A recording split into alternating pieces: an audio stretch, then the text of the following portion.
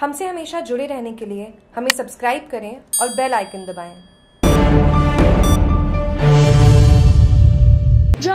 ज़िले के करडा गाँव के समीप बुधवार को स्कूल से लौट रहे छह मासूमों को एक कार ने चपेट में ले लिया। इनोवा कार ने टक्कर से पाँच बच्चों की मौत हो गई, जबकि एक गंभीर रूप से घायल हो गए।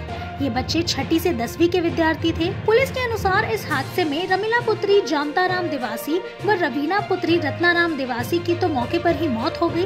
वहीं सुरेश कुमार पुत्र बेचरा राम देवासी, विक्रम कुमार पुत्र वचना राम दिवासी व कमला पुत्री बेचरा राम दिवासी का अस्पताल ले जाते वक्त दम टूट गया। बीना पुत्री वचना राम दिवासी निवासी दांतवाड़ा को सांचौर रेफर किया गया है। उसकी स्थिति गंभीर बनी हुई है। लोगों ने बताया कि दांतवाड़ा गाँव में बुधवार को बच्चे स्कूल से लौट रहे थे। इस दरमियान छह बच्चे तेज रफ्तार से आ रही इनोवा कार की चपेट में आ गए और दो की मौके पर ही मौत हो गई। कार ने इन बच्चों को पीछे से टक्कर मारकर उछाल दिया था। बताया जा रहा है कि तेज रफ्तार के कारण चालक वाहन पर नियंत्रण नहीं रख पाया और कार सड़क से नीचे उतर किनारे पे चल रहे बच्चे के ऊपर से होकर उन्हें कुचलते हुए खेतों में चली गई। हादसे के बाद मासूमों के परिजनों का रो रो कर बुरा हाल हो गया।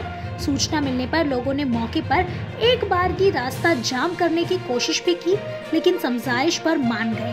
पुलिस ने मौके पर पहुंचकर आरोपी चालक के विरुद्ध प्रकरण दर्ज किया है। गाड़ी गुजरात नंबरों की है। जागरूक टीवी के लिए जालौर से तरुण गहलोत की रिपोर्ट।